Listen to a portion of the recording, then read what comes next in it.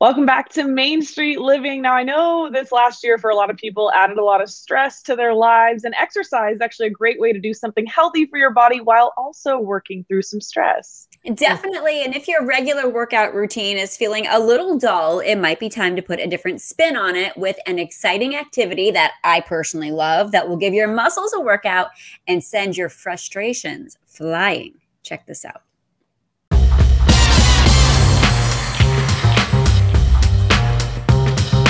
There's something really cool the first time you throw and it sticks in the board. There's just some like rush that comes over and you're like, all right, this is pretty cool. Once you experience that, you kind of get it. So bad axe throwing, something that started up in Canada, um, and then it trickled its way down here. We're not just recreational axe throwing, we're actually affiliated with the World Axe Throwing League. So we will be throwing axes here. I want to go over a couple safety things. You get to come in, you get to learn some games, we teach you how to throw, we throw parties, kind of fun for anyone that walks by and comes in.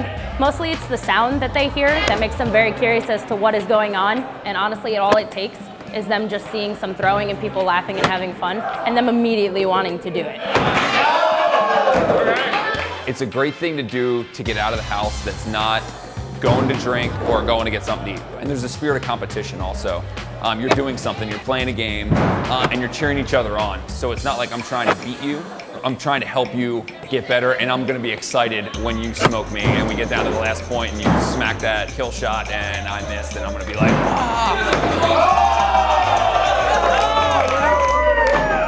When I'm getting ready to throw, what goes through my mind is breathing and calm. So I'm trying to center myself, make sure my breath is in time and not in hyper uh, fight or flight mode, and then, you know, try and stick it in the board.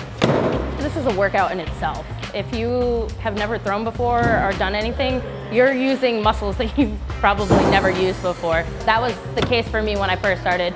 I uh, woke up the next day like, what, what's going on here?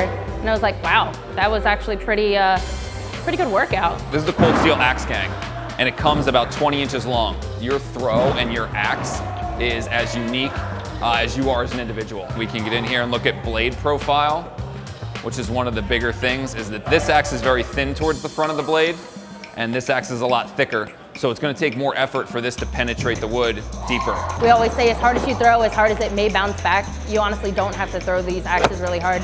They do all the work for you if you get the right sweet spot and your, uh, your, your technique down. Bad Axe Throwing has an Instagram where they upload awesome trick shots. The sport was viral out of the gate. People really like to show themselves in a joyous moment, and when you smack a bullseye or stick an axe, uh, it's a joyous moment. I've seen one where someone threw it underhand and then threw their hat on it, which was really cool. It takes a lot of practice.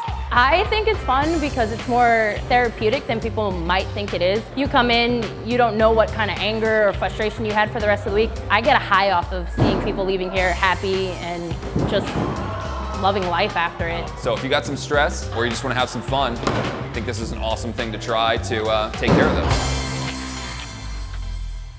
This really is a great way to get out some frustration. You guys have got to try it, and you can find out more information about becoming a bad axe on their website, badaxethrowing.com.